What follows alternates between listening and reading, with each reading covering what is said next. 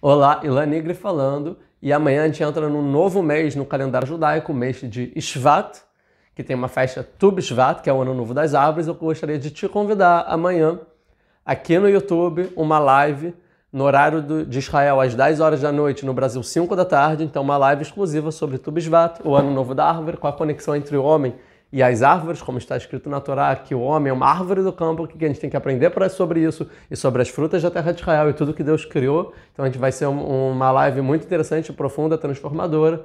Então eu espero você, né, essa quarta-feira, às 10 horas no horário de Israel e 5 da tarde no horário do Brasil. Conto com você.